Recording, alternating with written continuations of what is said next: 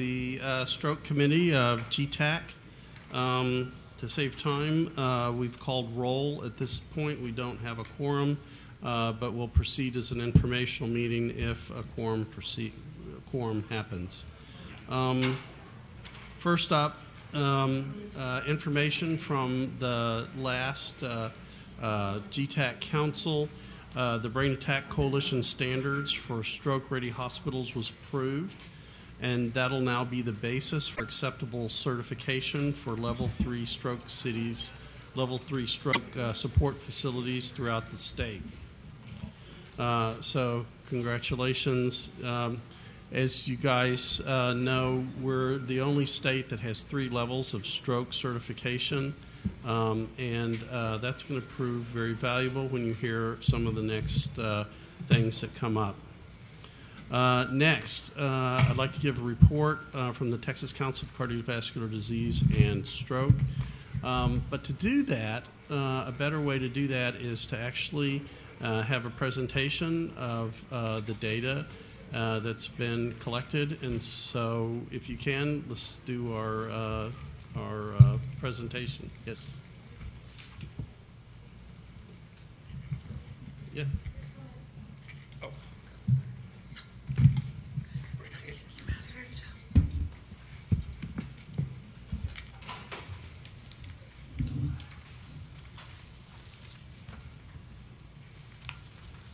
So the, these are the Texas Stroke Performance Measures from Rider 97.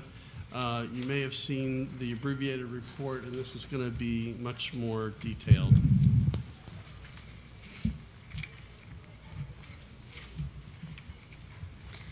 Good afternoon.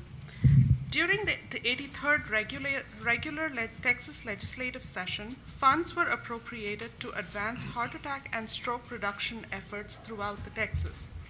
To inform such efforts, the Texas Department of State and Health Services has launched a heart attack and stroke data collection initiative. The data collection initiative focuses on pre hospital and hospital data elements. This presentation includes de identified aggregate data for hospitals who have agreed to share Get with the Guidelines stroke data with the DSHS. All data are protected under the Health Insurance Portability and Accountability Act. This aggregate data is intended to inform stakeholders about opportunities for collaboration and system enhancement.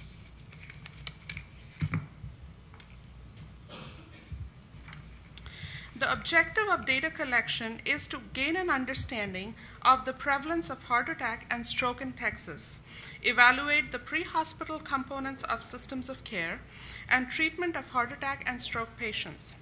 Findings will be used to assess policies and practices de- regarding delivery of care across the state and identify areas of opportunity for quality improvement while recognizing achievement among hospitals.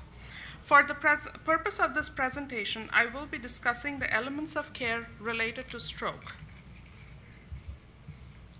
The data were collected by the Get with the Guidelines Stroke Database by Quintiles. And these data reflect hospital care from October of 2008 to June 2014 from 22 participating hospitals. Data were analyzed for reporting, quality, and achievement measures for effective care for stroke patients. Measures listed on this slide were selected through collaboration with the Rider 97 data consultants. Between 2008 and 2014, 30,046 cases of stroke were reported by participating hospitals. Ischemic stroke, which constituted 67.3% of all the stroke cases, was the most common type of stroke among Texas adults 18 years and older. Other stroke types included transient ischemic attack, which constituted 13.7% of the cases, and intracerebral hemorrhage, which included consisted of 10.3% of the cases. The mean age of the stroke patients were 67.9 years, and slightly more than half of the patients, or 51.3%, were women. Among the 30,046 cases that occurred, 34% of the patients were transported to the hospital by a private vehicle. Brain imaging or CT scan is used to identify the type and acuity of a stroke and to locate the blockage or clot. A CT scan should be performed within 25 minutes of hospital arrival and interpreted within 45 minutes of the arrival. Among eligible patients who arrived to the hospital within three hours of last known well or the time at which the patient was last known to be without any signs and symptoms of stroke, 67% did not receive, I'm, I'm sorry, 57, 43% did not receive a CT scan within 25 minutes of arrival. Thrombolytic therapy using intravenous tissue plasminogen activator, IVTPA, is the preferred reperfusion strategy for patients who have had an ischemic stroke where a blood vessel is blocked by a clot. Time to thrombolytic therapy is often referred to as door to needle time. An ischemic stroke patient should receive IV TPA therapy within 60 minutes of arriving at the hospital. Among eligible stroke, ischemic stroke patients, 57.6% of the patients did not receive IV TPA within 60 minutes of arriving at the ED. Ischemic stroke patients who arrive at the hospital within two hours of last known well should be treated within an hour of arrival or three hours of last known well. Among eligible patients who arrived within two hours of last known well, 93.4% were treated within an hour of arrival to the hospital.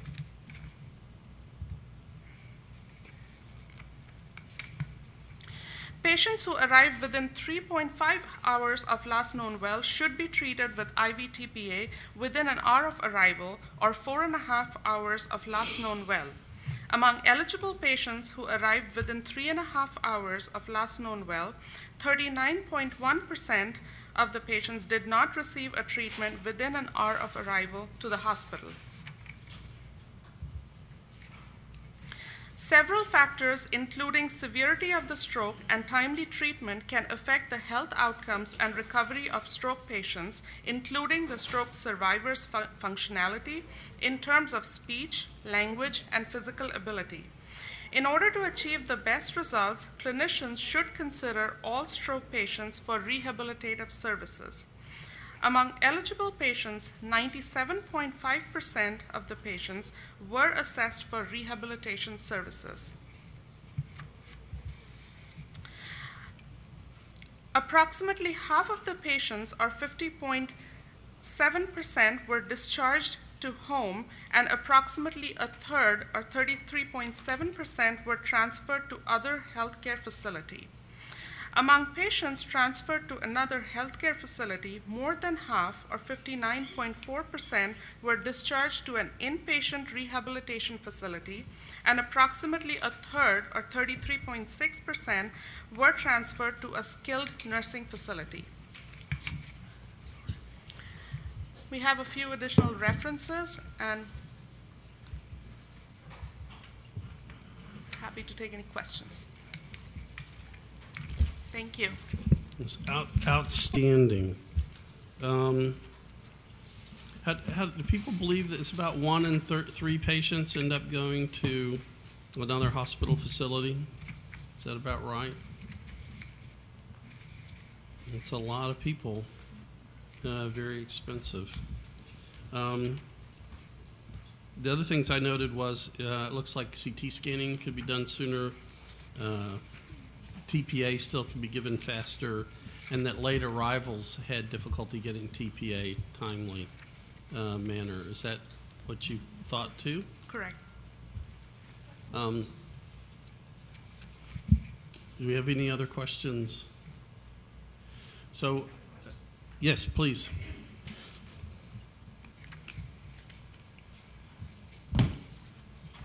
Hi, Wanda Helgeson from Border RAC in El Paso.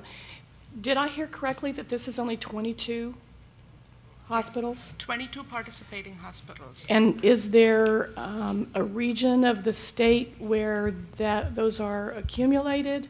I mean, are they mainly big metropolitan areas? Are they spread all over? Is it rural? Is it East Texas? Is it West Texas? North, South? I mean, do we sort of know where they are? Right, we haven't mapped those, but they are throughout the state.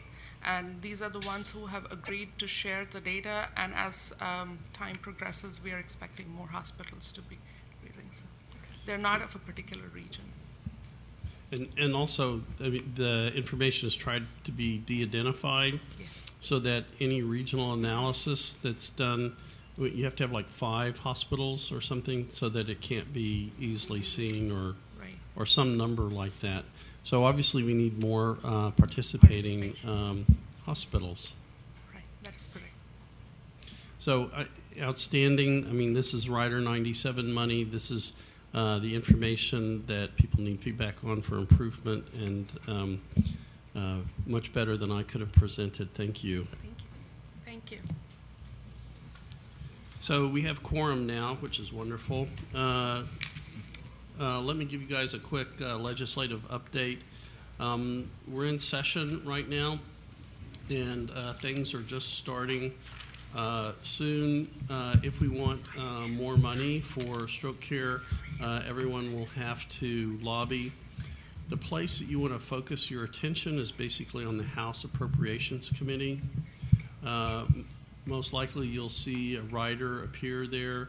The council is uh, championing for a rider right now, as well as uh, putting forth the information that we've collected from Rider 97, showing the disease incidence in the state and gap analysis, where there's uh, lower uh, EMS traffic per capita for things like STEMI and heart disease. So um, I hope all of you uh, participate. Um, that's the only way that it's going to work. Um, next up, uh, Fillingham, we're going to do our education uh, work group uh, update.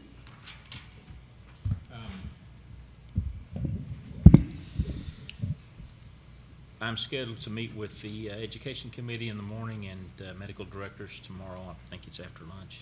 And uh, they have some questions and some, I think, recommendations, and hopefully, we're, we're going to try to, to aim for the May meeting to have some finalization of it. Any questions? there, there could be a lot. Do you want to go over what our recommendation was and just to remind people? Um, Sure. The, the, our recommendation was that uh, some required uh, continuing education uh, for the EMS folks be set in place. Right now, we have nothing that uh, is stroke-specific or uh, that we think is kind of keeping us up with what's going on, um, especially after the uh, International Stroke Meeting uh, and some of the abstracts that came out, there's a lot of research being done that's indicating um, that one particular uh, study, the, the, uh, they interviewed paramedics and asked them what, what would help you do better, and they said education. We, we're just not up where we need to be. So, uh, you know, Texas is, um, I'd, I'd put our medics up against anybody's. And um, I think that we've got to stay focused and stay aggressive and uh, adding a few hours of that. And it's not additional hours of requirement, it's taking some that exist within the current system that um, are are areas that we can take uh, extra or whatever we want to that's approved. It's taking a couple of those hours and moving them over to a required side um, that would affect all the levels of EMS from our basic first responder groups all the way up through the paramedics. So, And, and actually, this ends up being a very timely time to do that, in that um, we're looking at a paradigm shift in care. And um, as is my privilege, what I'm going to do is I'm going to uh, jump uh, and have a presentation by Paul Hansen on the new studies uh, in this regard, because then it'll make more sense in talking about transport plans and stuff. And so, um, Paul, for you.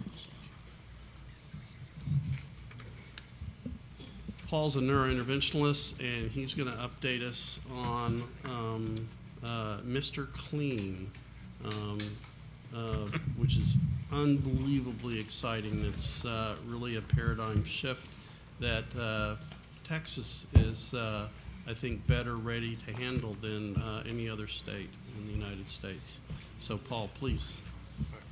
Yeah, thanks for having me here today. Um, again, my name is Paul Hansen. I'm a physician up in the DFW area. Uh, just a tiny bit of background on me before I jump into this. Uh, I went to Duke University, so I've got my Duke blue on today. Um, play UNC. There's out of an interest of bipartisanship, I've got a little bit of baby blue in my tie and my shirt. So hopefully uh, that comes across.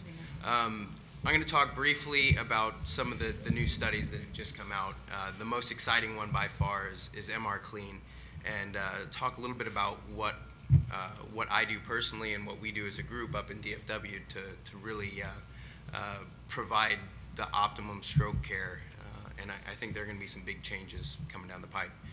Um, so just very, very basic, starting at the beginning. When we're talking about a stroke, what are we talking about? We're talking about a blood clot in the brain, okay? Um, there are bleeding types of strokes. That's about 15% of what we see. But what we're going to focus on today is a blockage in the brain, just like a blockage in the heart causing a heart attack.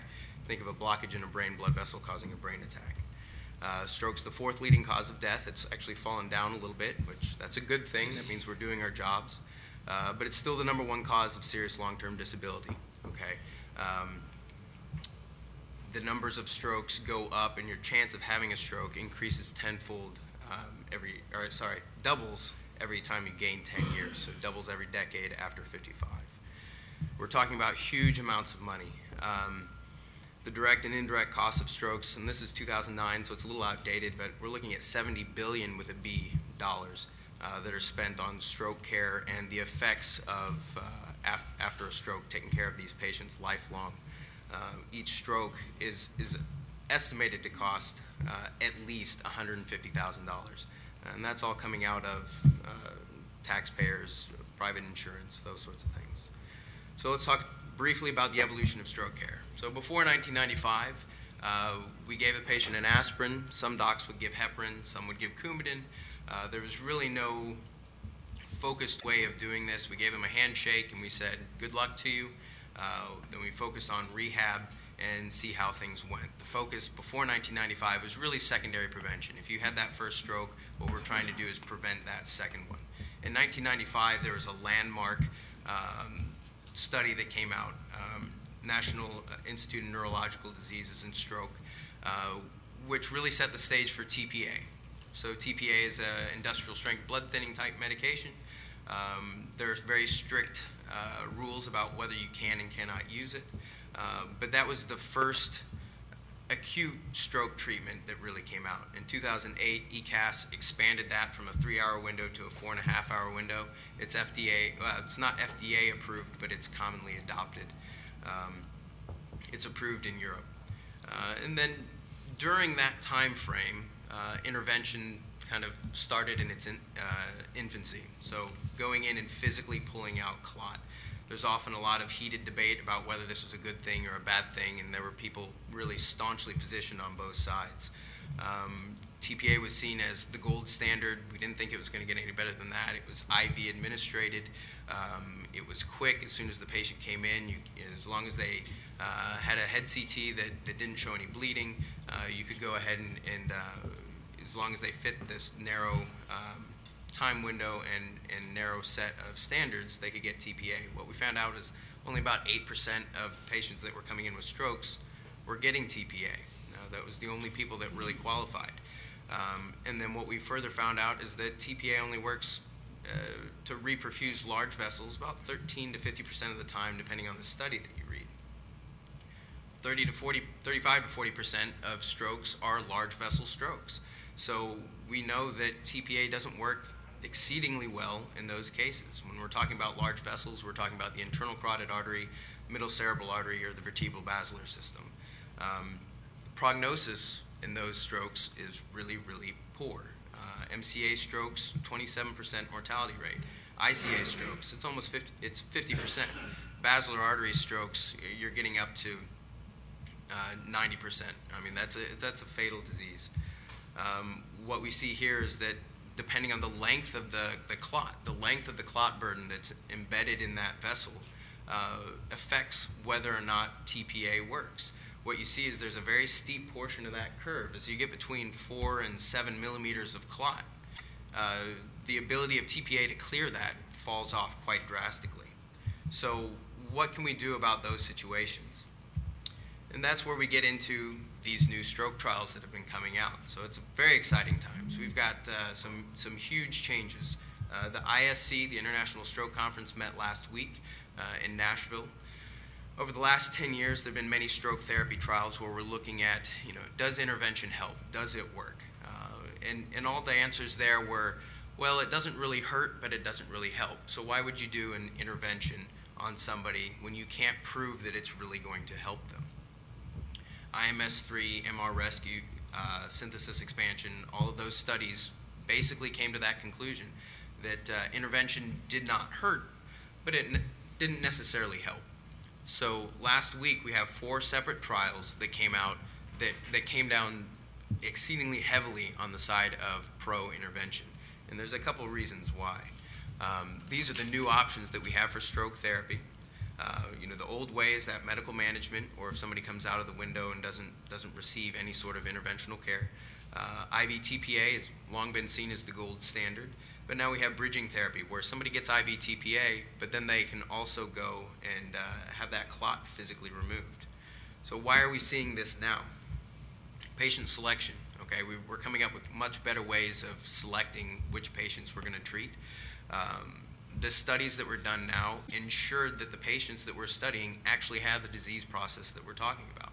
The older studies, they did not do a CTA, they didn't do any advanced uh, intravascular imaging to know whether or not the patients that were included in the trials even had a large vessel occlusion. And that's why some of those numbers look a little different. Device maturity. We've been through several iterations of the devices that we're using now. So we've gone from the MERCI device, which has had uh, its it looked like a hook, it looked like a corkscrew, it looked like a corkscrew with little fibers coming off of it, all sorts of things. It had a high rate of bleeding and a low rate of revascularizing blood vessels. Um, now we're using stent retrievers and thromboaspiration, and we're getting upwards of 80% of blood vessels to open up. In the old days, we were lucky to get 20 to 30%.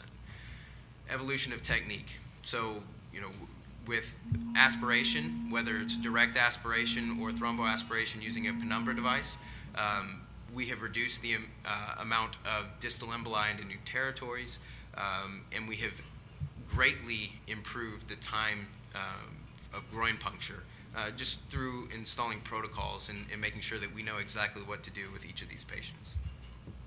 So this is kind of a cheater slide.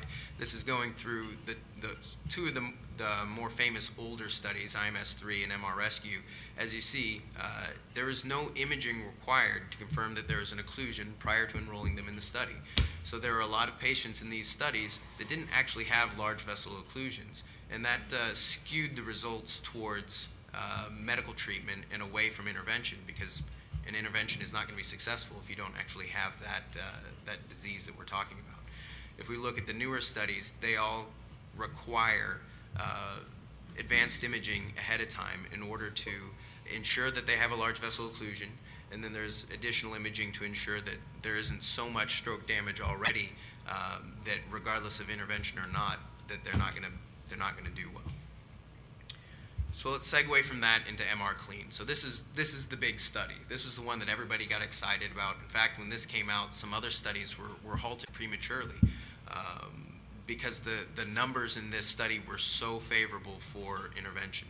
So the acronym is, is a little unclear. Um, it's kind of word soup when they come up with these, but it's a multi-center randomized clinical trial of endovascular treatment for acute ischemic stroke, and it was done in the Netherlands. Um, the reason that it was able to be done there and the reason that they were so successful is that every single hospital in the entire country used this same protocol. They could not do intervention unless they were doing it as part of this study. So they had 100% coverage uh, over, their, over the entire country. So multi-center, all 16 centers in the Netherlands. It was prospective, randomized, and uh, open label treatment. So what that means is um, they one-to-one divided patients, um, again, across the entire country, collecting every single patient that came in, uh, randomized patients into either TPA or TPA and intervention. And they followed these patients throughout their stay. Uh, the inclusion criteria, uh, is, is an acute ischemic stroke, age greater than or equal to 18, NIH stroke scale greater than or equal to 2. Um, I'm not sure that I would do an intervention in an NIH stroke scale of 2, but that's the way this study was done. Um, they had to prove that there was a, a large vessel occlusion. They had to prove that in the anterior circulation, so we're talking about carotids, uh, internal carotids, MCAs, ACAs, that there was a large vessel occlusion that could be confirmed by CTA, and that uh, TPA could be given or they are presented within a six-hour time frame in order for uh, intraarterial thrombectomy. This is just a little uh, uh, decision tree showing how these patients were uh, split into these two groups. Again, my, my goal isn't to teach you the ins and outs of this entire study and, and these other studies. I just want you to see that these were good studies, that they were well done, and really have a true appreciation of, of how heavily they come down in favor of uh, uh, endovascular treatment. Um, the, the numbers are, are pretty surprising. So again, baseline characteristics, the two groups were very similar. Uh, age was even, uh, predominantly men, just the way it worked out in this study. Some of the other studies you'll see is more even, and then there's one that's actually heavily weighted towards women. NI stroke scale was nearly the same, 17 and 18 in each group. Um, TPA rates were very similar in both groups. Um, they, were, they were very similar groups. This is just showing the distribution of, of uh, occlusions. Uh, so you can see, again, these are pretty well matched across the interventional arm and the medical treatment arm. Uh, between ICA terminus, so an ICA-T occlusion at the top of the ICA where it branches into the ACA and MCA, M1 occlusions, M2 occlusions, and ACA occlusions. Uh, this is just going over the timing. Again, the, the important thing isn't the numbers, the important thing is these match. So the IVTPA group and the intervention group were on very similar uh, time frames, you know, difference of a minute or two here and there, uh, just showing that they got the same treatment except for the intervention. So we're really looking at what is the difference between a, a pure intervention versus doing TPA itself. If you look at that bottom line, you're, you're looking at time from onset to groin puncture. That's about four hours. So if somebody has a stroke, they get to the hospital in two hours. It's taking two more hours to get them into the you know to give them TPA, get them into the interventional suite, and uh, start your procedure.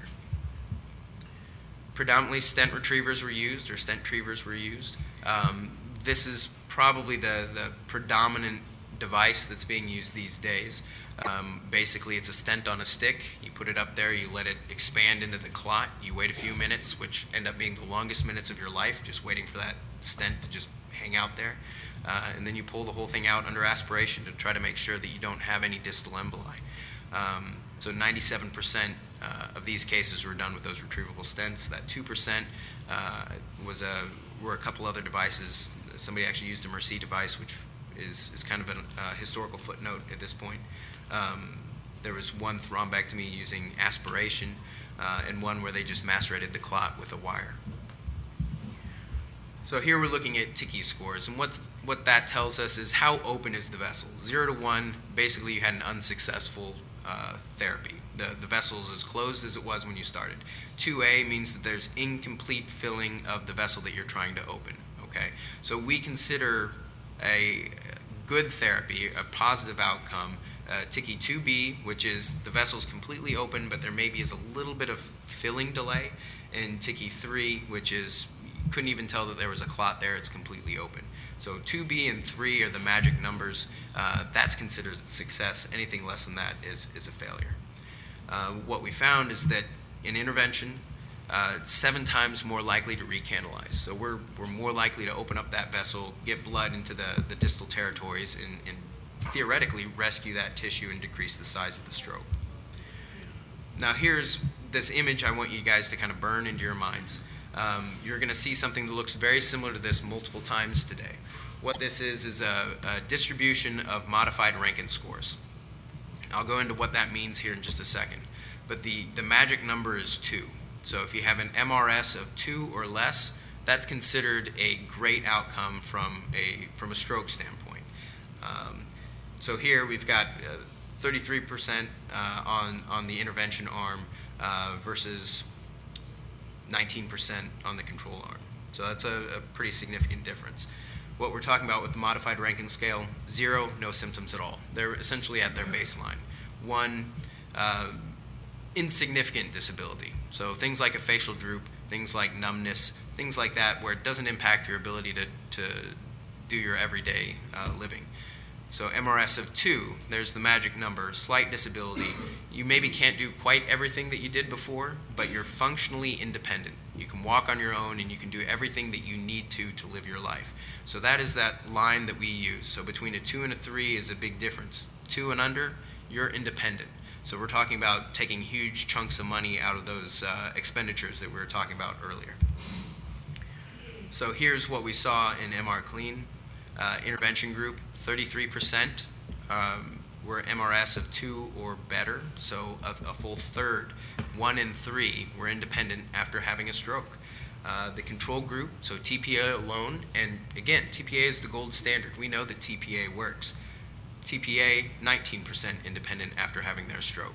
So that's one in five. So we're taking a disease process where you have a one in five chance of, of being functional and changing it to a one in three chance. And those are pretty good odds. Here I'm just showing that there's no big difference between the adverse uh, events uh, in the intervention group versus the control group, which is the TPA alone group. Uh, there's one area with an asterisk, and that is this, that when you do these procedures, when you're pulling out that clot, there's always a possibility that a little bit of clot product breaks off and goes downstream. Uh, if that happens, you can have a new stroke in a different area. So we call those dents, which is distal emboli in a new territory. We always want to try to avoid that, minimize that, um, but it is something that will occasionally happen during an intervention. The idea is, is that new stroke in that different territory is going to be much smaller uh, and less uh, disabling than the large stroke that they were going to have. So what does MR clean tell us? Uh, in patients with acute ischemic stroke caused by a proximal intracranial arterial occlusion, so that's a lot of words saying if there's a blood clot in the ICA or the MCA, um, that intraarterial treatment administered within six hours after stroke onset was, and this is the important part, effective and safe. Um, this study was really uh, designed to show those two things. Uh, it's not showing that it's better than TPA alone, and I always have to stress that, and I get calls from ER docs quite a bit um, saying that the patient doesn't want TPA, they just want to go to thrombectomy. It doesn't work like that. This is, a, this is an and therapy. So you give them TPA and you take them to thrombectomy. It's not one or the other. This isn't a, a replacement for TPA, it's, a, it's an adjunct to it. Um, and what they found is that treatment leads to a clinically significant increase in the functional independence in, in daily life at three months. So this modified Rankin score that we're talking about, um, they're measuring that at 90 days, so three months after the patient presents. So there have been some critiques. Um, you know, the, the, the natural history uh, in, in these patients was worse than in previous trials, especially uh, as compared to IMS-3. Again, I, I, talked about that a little bit earlier, is that in this trial they made sure that every single patient in the trial had a large vessel occlusion those patients are going to do worse.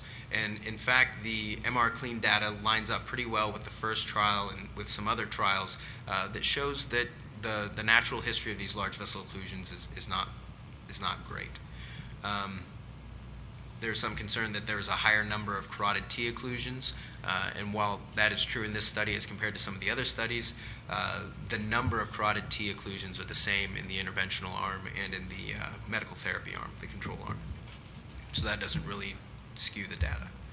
So let's move to another study that came out just this last week. This one's called SWIFT Prime. So solitaire with intention for thrombectomy as primary endovascular treatment uh, for ischemic stroke. So another word SALAD. I think they come up with the names first, and then they try to get things to fit. Um, again, randomized trial comparing IVTPA uh, plus uh, IVTPA plus intervention. In this case, they use the solitaire device uh, versus IVTPA alone. Again, one-to-one randomization. They had the same number in each group. And this was done in 39 sites in the U.S. and Europe and was run by Dr. Saver. Um, inclusion criteria, of course, they had to have had a stroke. Um, again, the age cutoff is about the same, 18 to 80. Uh, pre-stroke MRS. So what you're doing is you're making sure that the patients that you're treating already have a pretty decent baseline. Uh, we're not talking about uh, nursing home patients or patients that, excuse me, have had large strokes in the past um, and, and don't look good at baseline. Aspect score. What that is is a, a CT-based uh, rubric for evaluating how much stroke has already occurred. Um, aspects less than six, I can tell you, would be a pretty big stroke already, and that's not somebody that would go to the angiography suite. Uh, in fact, the cutoff is usually seven. Uh, but that's just making sure that the patients that have come in don't already have huge strokes. Okay, these are patients that, as you'll see, have an aspect score of nine, which means that essentially there are no changes on their CT scan when they first hit the door, which means that the stroke that they're having is relatively new, relatively fresh. They want to make sure that they give TPA to all their patients uh, within the, the guidelines. And again, they're making sure that these patients actually have the disease that we're talking about, which is a large vessel occlusion. Uh, and again, they're trying to do these procedures within six hours. And, and you're going to see that six hour time frame is pretty important. That's what we're seeing in most of these studies. Uh, again, you know, these are just here to show you that it was a good study. The two, the two arms were very evenly matched. There's not a significant difference uh, between any of these groups that, that, um, that uh, prick the ears of the uh, statisticians. We'll just skip over some of these because you know I've, I've, included it so that if you get a copy of the uh, the presentation, all this data is in there. But you know, going over the exact numbers isn't necessarily the important part. Again, this is just showing that the time frame uh, is very similar in both groups. Um, that getting TPA being randomized and moving forward didn't take any more time than getting TPA being randomized and moving forward to intervention. So here's another one of those important slides. So successful reperfusion, how often did the blood vessels actually open up? You'll see that it's two to one in favor of intervention. So this is showing that intervention works, it does open the blood vessels. And now the question is, does that translate to better outcomes? And here, again, you see this, this MRS, the modified Rankin scale diagram. Very similar skew pattern as before. Um, you know, in MR clean, it was about uh, there was about a one-third difference. Here, there's closer to a 50% difference in the two groups. So if we're looking at the modified Rankin scale of 0 to 2, again, that's, our, that's where we consider it a success. The interventional group was at 60%, the control group was at 35.5%, so almost a twofold uh, difference. So what did we learn from SWIFT Prime? So in acute ischemic stroke patients with confirmed large vessel anterior circulation occlusion, so again, we know that they have a large vessel occlusion causing their stroke, in patients that were treated with TPA and then rapidly uh, moved on to the angio suite. They've had less post-stroke disability uh, over the entire outcome range, and it increases the proportion of patients who are alive and independent at three months after stroke.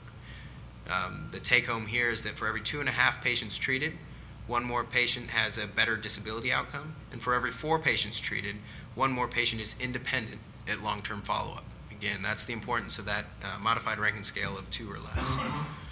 Yet another study. So again, we're starting to mount some evidence here. ESCAPE, which was done by Dr. Michael Hill uh, in Calgary. So this is a Canadian study. Um, endovascular treatment for small core anterior circulation proximal occlusion with emphasis on minimizing CT to recanalization time. So still, it's a lot easier to say ESCAPE. Um, standard care versus standard care plus rapid thrombectomy. This was a trial uh, looking on ways to improve the time to treat. So improving getting these patients to the angiography suite quickly, and was really to look at um, how patients did based on how quickly they could get to them. Again, we're looking at the modified Rankin score at 90 days. That's going to be the same in each one of these studies. Inclusion criteria, again, very similar to the other ones, except in here they've uh, discounted patients that have poor uh, collateral circulation. So if you looked at their uh, their vascular imaging and they really didn't have any filling of collaterals on that side, they dismissed the patients from this study. Again, the, the patients are very similar in both groups. Um, age the same. This one was uh, slightly predominant women. It was done in Canada, so it's mostly Caucasians. Uh, baseline NIH stroke scale, very similar uh, in both, so 16, 17. Um, all the comorbidities are very similar. So there again, I'm just trying to convince you that this is a well done study. 90 uh, modified Rankin scale. Again, we're seeing that same skew pattern. It's almost a twofold uh, difference between the interventional arm and the control arm. And again, we're looking at that modified Rankin scale of two or less. What what we see at the safety endpoints is that, you know, uh, half uh, the rate of mortality, um, a smaller number of uh, malignant or large MCA strokes. Uh, the number of bleeds is about the same. And then, of course, with an intervention, there's going to be a couple things unique to intervention, which are um, blood vessel perforations or access site hematomas. And again, those were, were very, very rare complications. So, what does ESCAPE tell us? So, that endovascular thrombectomy is a safe, highly effective procedure that saves lives and dramatically reduces disability when. So, again, we're getting back to patient selection. So, carefully selecting patients um, based on preliminary imaging to look at their blood vessels and, and excluding patients that already have large strokes. Um, and then again, being aggressive with the time frame. So, trying to get patients uh, from imaging to groin puncture in 60 minutes and imaging to reperfusion in less than 90 minutes. And those are, those are pretty um, aggressive time marks, but it is, it is something that we're capable of. And again, it's just showing that this is a safe and effective technology, the, the retrievable stents that we're using. And this is the last one. So this is a fourth study, again, in the same vein as the others, another randomized controlled trial looking at endovascular thrombectomy after either a standard dose IV TPA uh, alone or uh, standard dose TPA and then moving quickly to thrombectomy. This, again, was a study geared towards looking at patient selection. Um, here they used a couple of different uh, imaging modalities in order to, to optimize which patients were selected. They're using the solitaire device again, uh, and this was a much smaller study. There were only 35 patients in each arm, so there's some a little bit differences between the, the two groups. Again, we're looking at the inclusion criteria, very similar to the other ones. Uh, you want a patient that at baseline is pretty healthy, greater than age 18. Uh, and again, you're, you're making sure that they actually have the disease process that we're talking about, that they have a large vessel occlusion. So again, we can go through all these images, but um, the, the, the, groups are pretty similar. Um, there's a little higher rate of diabetes in the control group in this one, um, but otherwise similar. The results are the same, uh, sorry, the results were the same though if we're looking at the modified Rankin scores. Um, again, there's a huge predominance of functional patients after thrombectomy versus just IV TPA alone, 71% to 40%. So almost twofold again. Um, number needed to treat 3.2 patients to have just one functional patient, uh, one more functional patient afterwards. This was just looking at, at um, stroke volume growth in that study.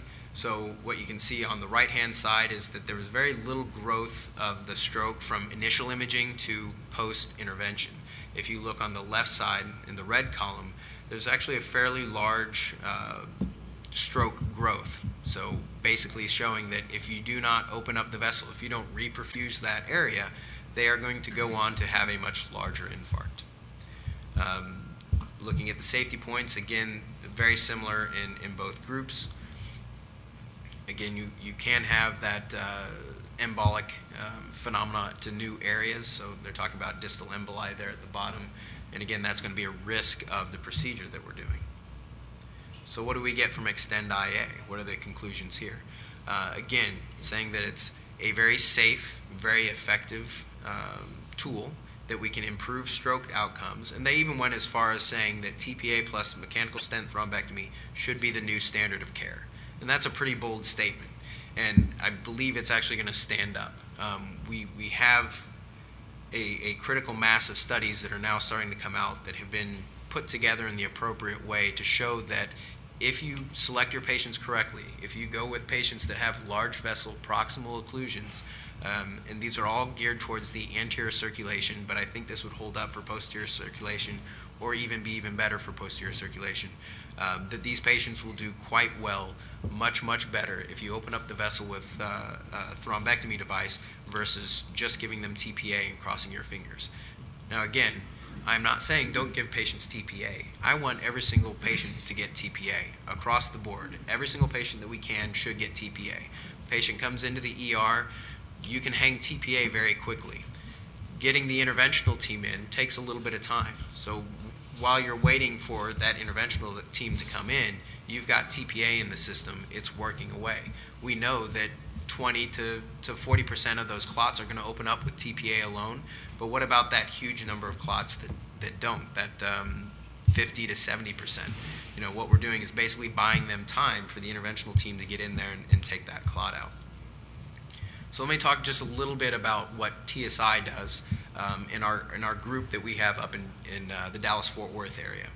Um, we're an HCA initiative, so basically we cover the HCA hospitals in the North Texas area, and we do interventions in a couple of those uh, sites. We have primary uh, stroke centers that, that really handle uh, a lot of the calls, uh, and then we have two comprehensive sites that act as hubs to our hub and spoke model, where we funnel those patients in that meet criteria in order to have them evaluated by us. We're a team of niche neurovascular neurologists we are on the phone 24 7, um, and we accept patients from across the region. So we get calls from somewhere around 148 different hospitals that physically call in just to talk to the docs that we have on call.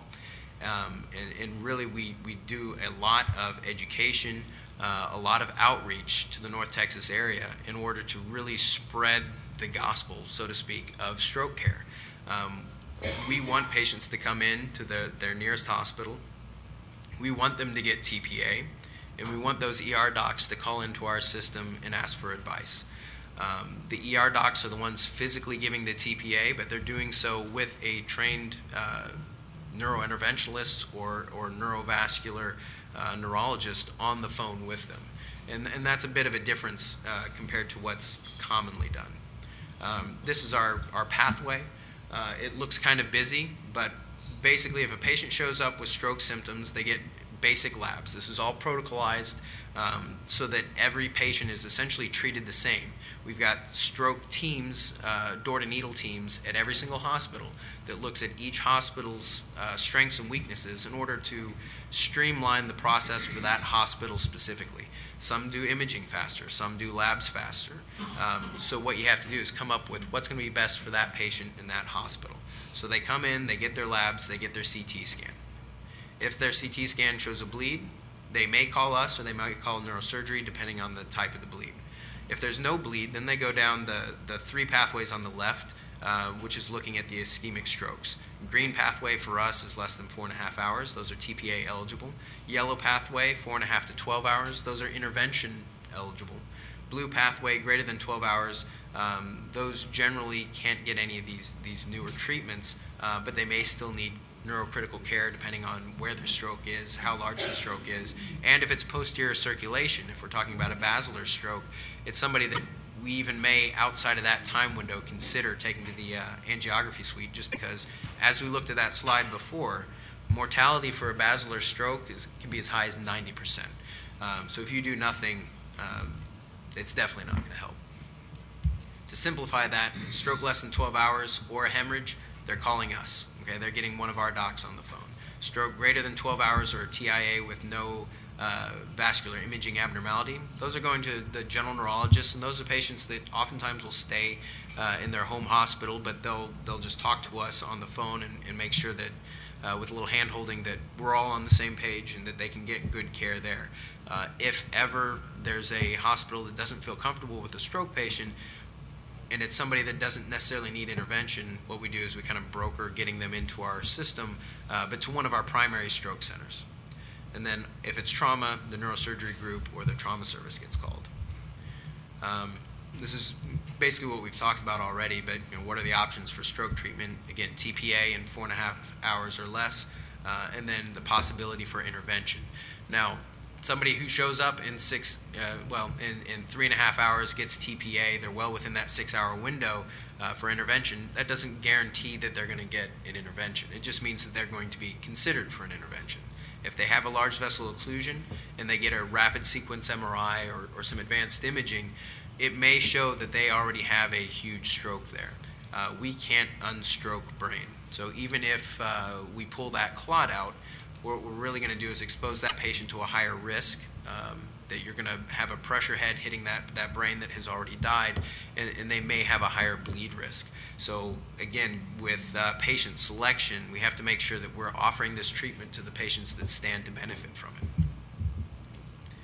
again, what do we do? We're evaluating do they actually have a disease that we can help them with? We can't do anything about small lacunar strokes. We can't do anything about strokes that are out in M3s, M4s, uh, in those very distal areas. So it has to be a large vessel proximal stroke. Um, they need to have uh, otherwise healthy brain, um, no large stroke already present.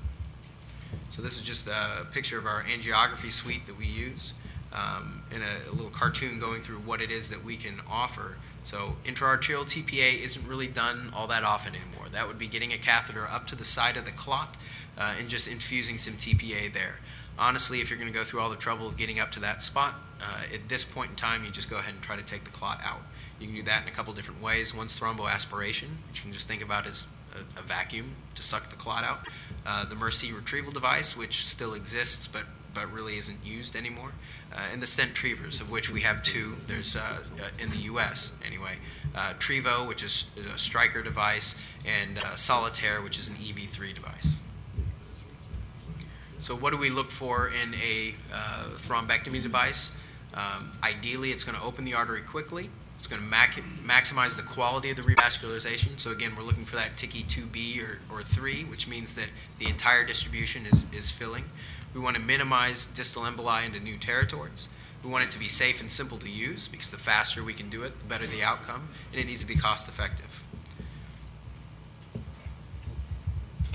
So this is this was provided by Penumbra, and of course their device looks the best on this. Uh, but this is just showing that we have had an evolution. These are going from older stroke devices to newer stroke devices. That each iteration uh, gets better than the last, and we have a higher percentage of uh, open vessels after the procedure. This is just a picture of a stent retriever, just so you can kind of picture what it is. Again, what you do is you take a microcatheter all the way up to the side of the clot, you cross the clot with a wire, and you take that microcatheter all the way across the clot. And then what you do is you put the, the uh, thrombectomy device up, regardless of what type of retrievable stent you're going to use. Um, you get that in place, and rather than pushing the device out, what you actually do is unsheath the device. You pull the, the microcatheter back. The device, it's memory metal, it expands, looks just like a stent, except that it, instead of being deployed and left there, it's deployed, but it's still attached. You give five minutes for that uh, stent to really embed itself in the clot, get a good hold, and then under suction, you pull everything back. Uh, the suction is important to try to reverse blood flow uh, transiently in order to capture any of those distal emboli that may go somewhere else. Uh, but the idea is in one single pass, you can get that clot out. This is what the penumbra system looks like. Uh, again, it's, it's, essentially a vacuum tube. This is an older picture. This is using the separator, which we don't really use anymore. The, the newer device um, and the newer technique is called ADAPT, where you essentially just advance the suction catheter all the way up to the clot, turn it on, it starts to suck. It basically corks the clot in the uh, catheter, and you, you pull it back that way. So this is what we're talking about here. Um, what we have is a, a, blood vessel that is comes to an abrupt end. So if we, this is the left MCA, um, and it, it, it's just not there. We see the ICA pretty well. We see the um, we see the ACA pretty well, but that MCA just stops. So if we go here, what you can see is on that right hand picture or left hand if you're a radiologist, what you see is that there's now a new blood vessel there that wasn't there before, um, and that's the idea. Uh, you give this patient TPA, that TPA may may work, and if it works, great. Uh, that's the best outcome for the patient because you know the TPA is going to get there faster than I ever can.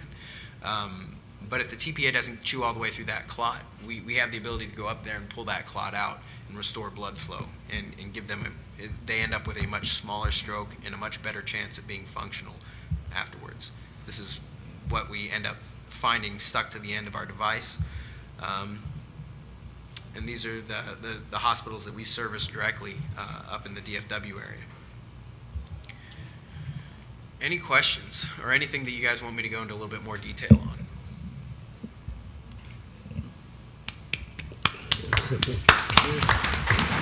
Um, thanks. Um, as you guys might imagine, um, this is uh, the paradigm shift.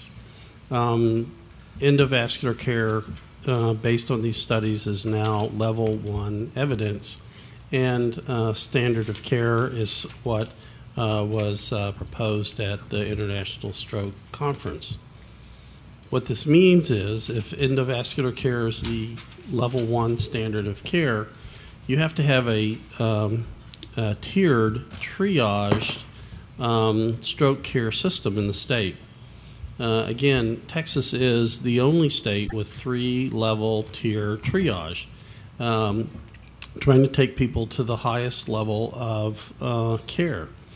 Uh, the level threes are drip and ships, and level uh, twos are the TPA sites, which can then also ship or transport. And then the level ones are where the endovascular care is. So um, this now becomes critically important.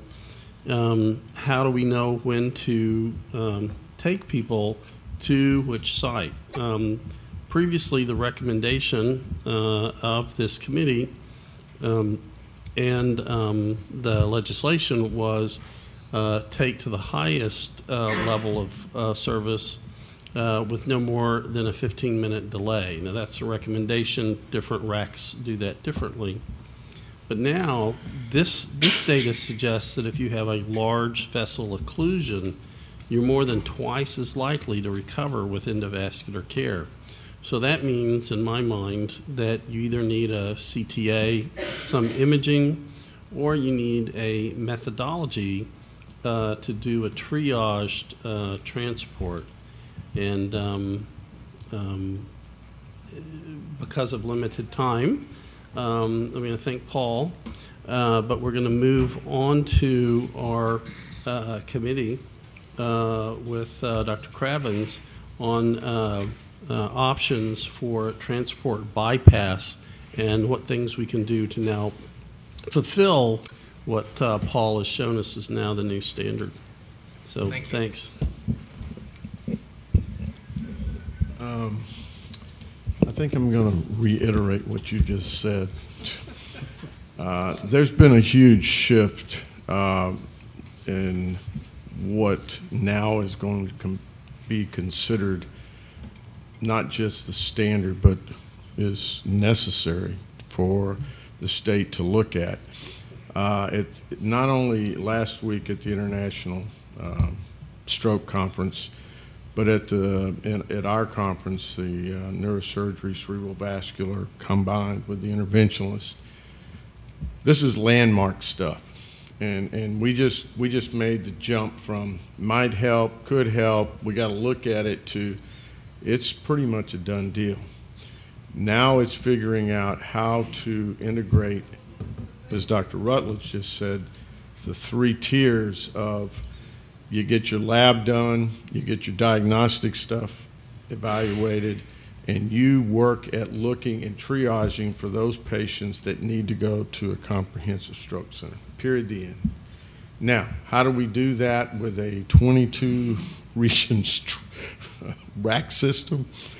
Uh, our last meeting, um, we were still going through and looking at the different criteria, the different areas used.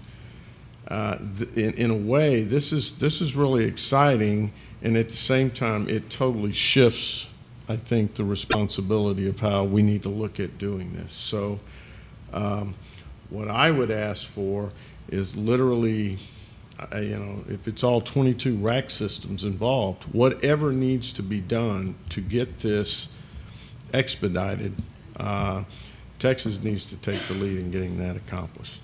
So. I need some, I need some feedback from, the- some help from the RAC. So I guess one of the questions is going to be, you know, and this ties in with the education as well, is, um, you know, what are we going to use for first responders?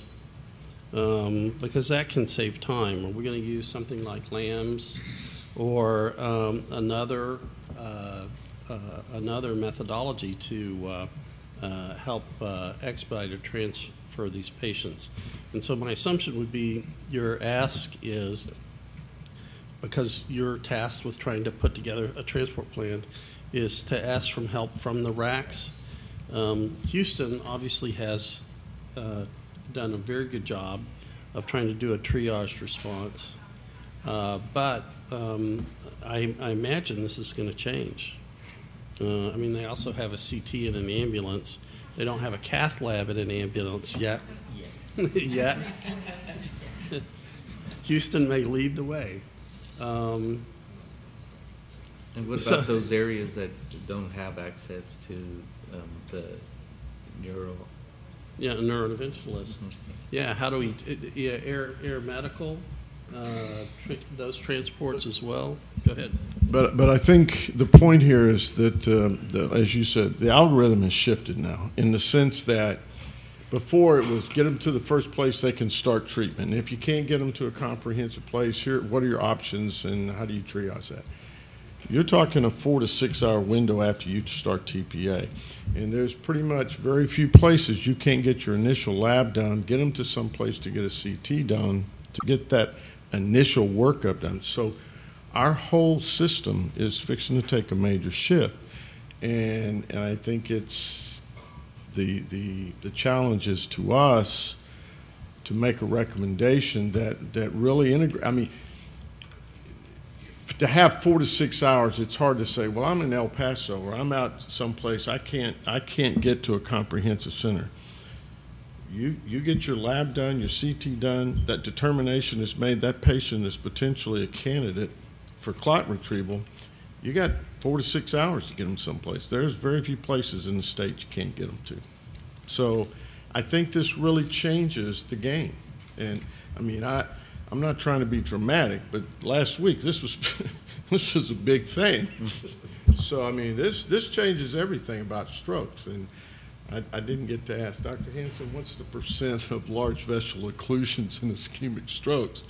Nonetheless, the ischemic, the ischemic strokes are 80% of all of our strokes. That's a huge patient population. And we now have an, uh, uh, the potential to do something to help these folks. So now, now we, now the onus is on us to really rethink this on, on not just can we get people to the right place in a short period of time, which in Texas is pretty difficult, but now you start people on TPA and you've got four to six hours to look at those patients, to consider sending them to a comprehensive stroke center. That's got to be really rethought. So. Yeah, and the, and the thing I would add is if you look at the ESCAPE trial, uh, that was uh, out to 12 hours with good imaging, with perfusion imaging, where you didn't have uh, a, uh large area of completed stroke or dead brain. So, I mean, amazing, amazing times. I just can't believe it. Landmark. I've got a broken foot, so I'm not gonna get up there. You can repeat it if you need to. Yes, please. So, I, I'm, I hear, I, I'm not sure it is gonna change the way the RAC structure moves around.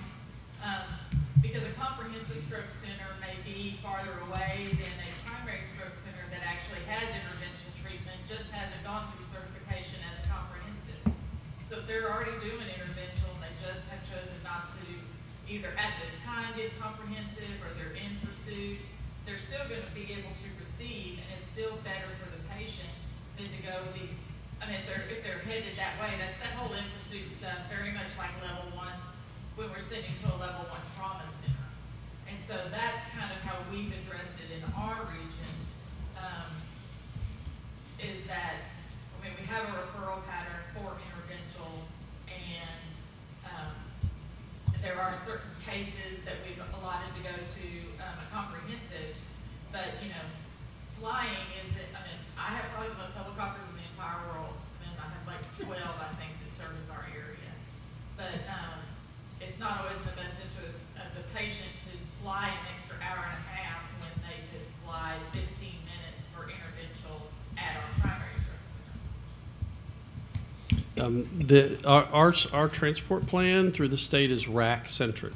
It is RAC-centric because there are different conditions in different areas that require different transports, and uh, one methodology doesn't work for every single one.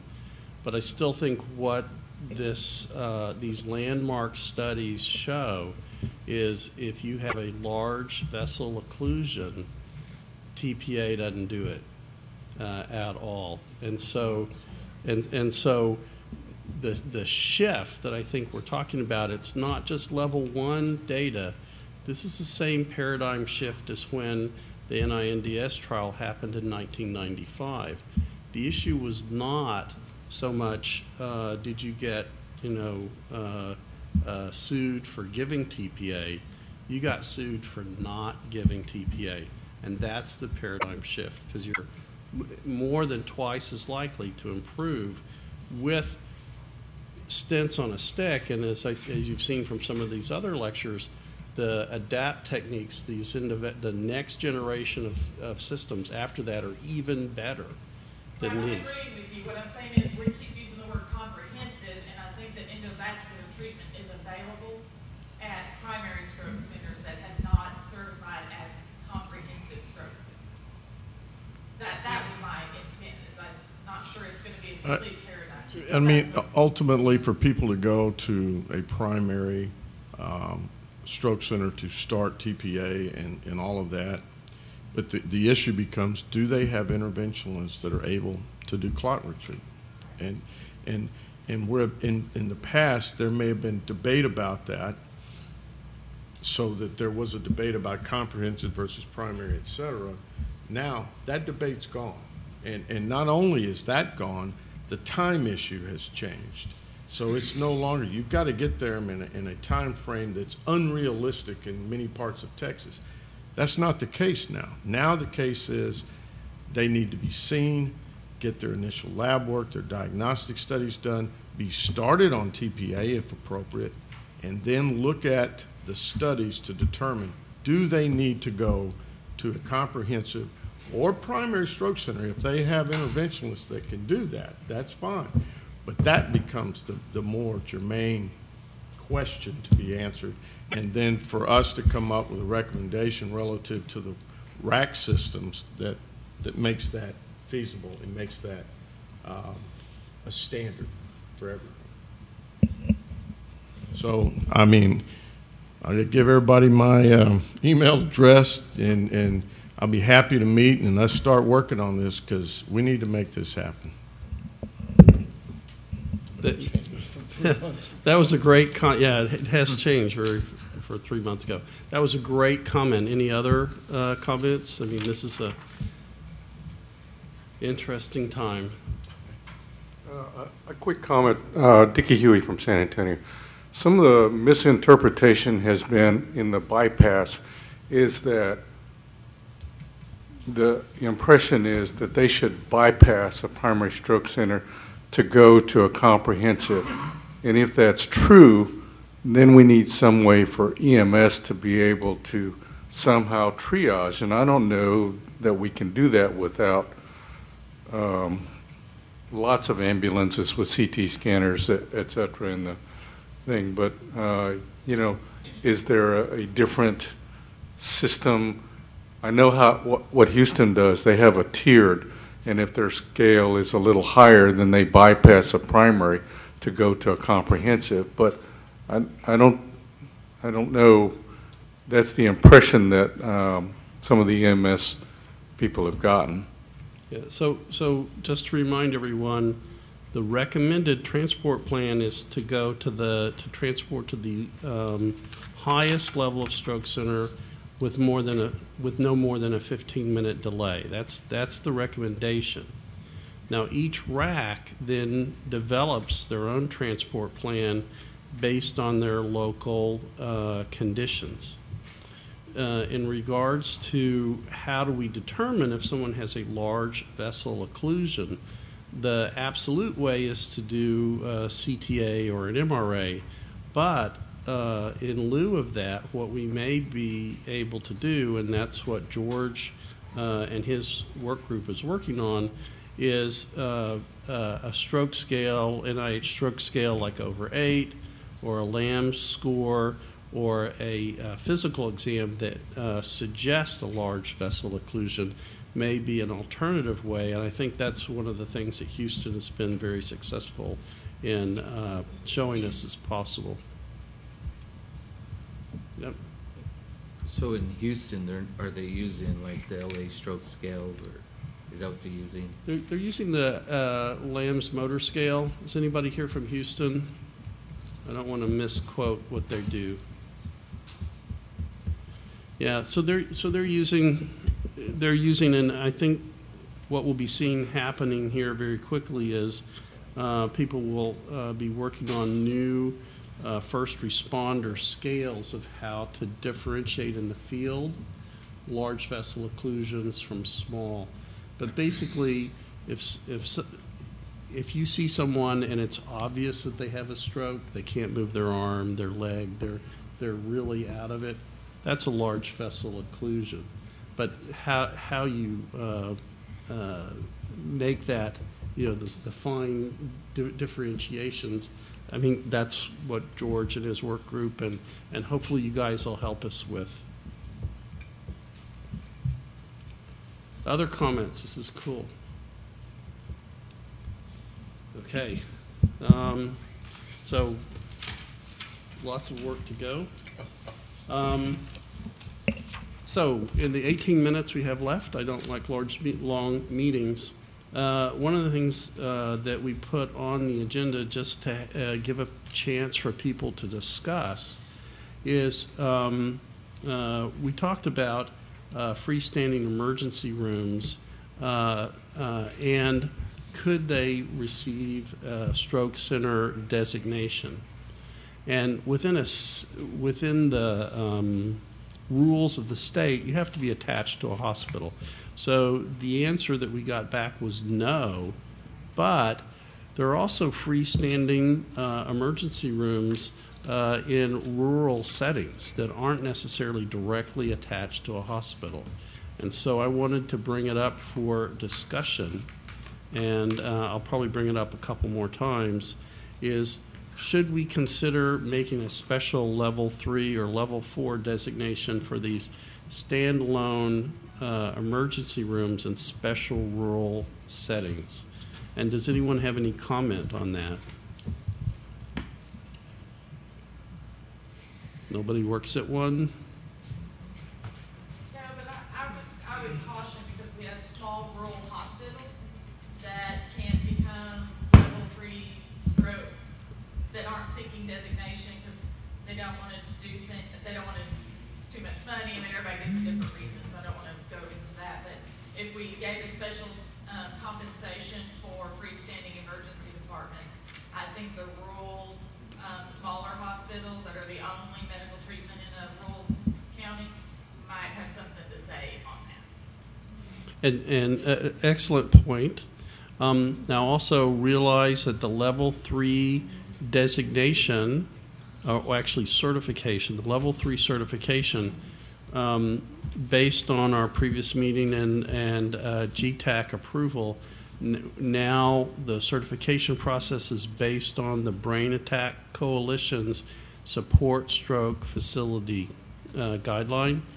What that means is, uh, I'm hoping that there'll be uh, easier uh, ways for uh, the rural hospitals to get their certification, cheaper, easier, and, and still fulfill all the things that we need to make sure that uh, they're getting good care, that people are getting good care. Any other comments on um, standalone, rural standalone ERs? No? Okay. Um, Another point of discussion, just to come up, because this has come up uh, from several times from several people. Um, Does anyone have any comments on uh, recommendations for adding uptime requirements for stroke center state designation? That is, um, uh, if a stroke, certified stroke center is unable to fulfill those requirements for, say, six months out of the year or something like that, right now, the state, they designate centers, they don't certify centers. So um, if there were issues with the time, how long they were unable to fulfill those criteria, it would then be the certifying body's responsibility to remove certification, and that would then remove state designation. Uh, Is there interest, or do people have comments? Should the state have uh, uptime requirements for their designation. Comments, thoughts?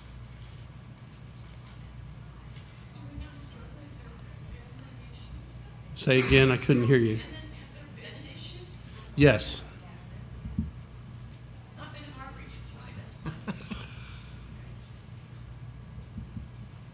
Okay, please think about this. Um, I mean, obviously, you know, our job is to try to help people become certified and, and help, you know, uh, do stuff, uh, which, and it's my inclination not to be uh, uh, punitive or not trying to do this, but at the same time, if someone's not providing care, it's not fair for them to say they're designated.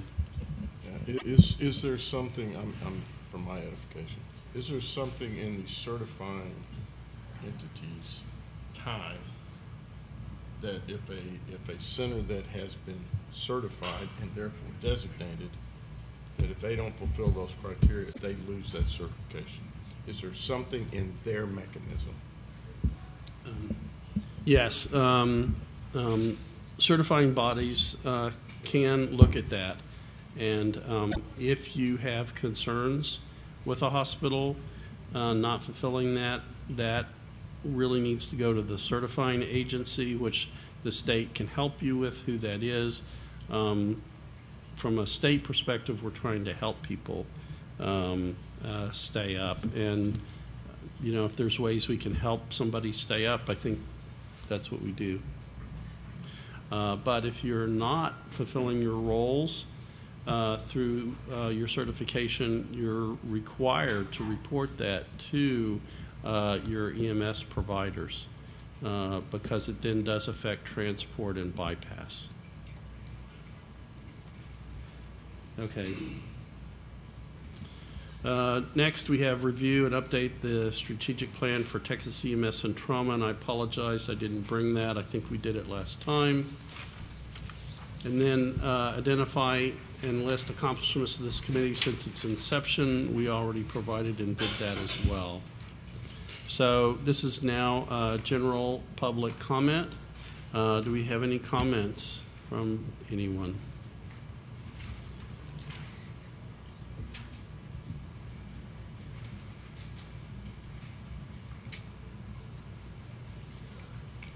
Hello.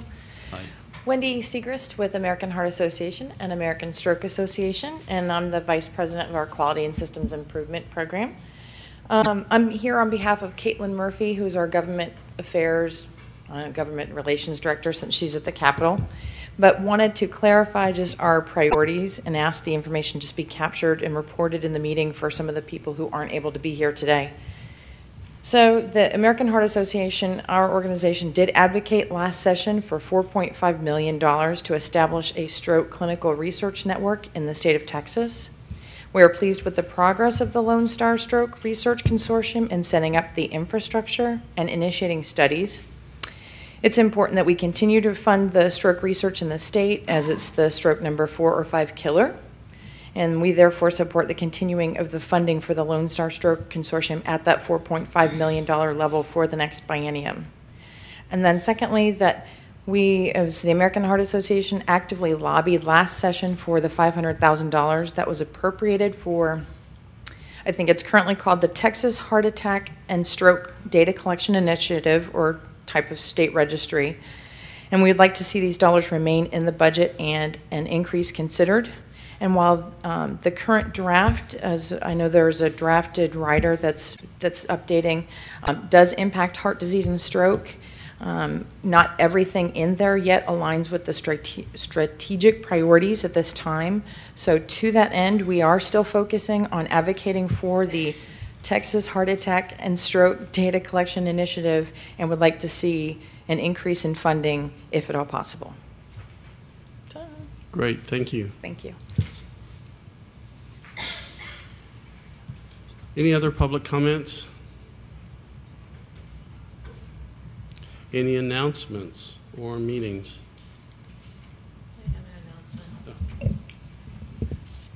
Um, I just wanted to share that the Southwest affiliate is planning another stroke coordinator conference. Um, they're going to do an, actually an emergency neurological life support in Houston um, on Wednesday, April 29th. And then on Thursday and Friday, it'll be a day and a half um, um, conference, and it's called Your Role as Stroke Coordinator from Surviving and to Thriving. And it was actually an excellent conference that was um, done a year ago or so in Denver. So just so you know to um, watch for information about that. Great, thanks. Uh, Anyone else, any comments? If not, we stand adjourned. Thank you guys very much.